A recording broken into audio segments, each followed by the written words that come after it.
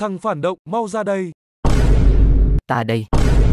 Hoa rơi của Phật, vạn vật thua Goku, hậu thua Goku, học ăn học nói, học thua Goku, tiên thua Goku, trên đời này không có chuyện đúng sai, chỉ có bị Goku đánh hoặc thua Goku, không có kẻ thù hay bạn bè vĩnh viễn, chỉ có thua Goku là vĩnh cửu.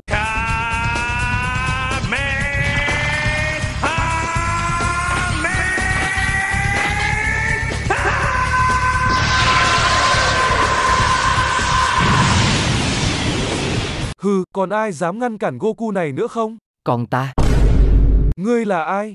ông út.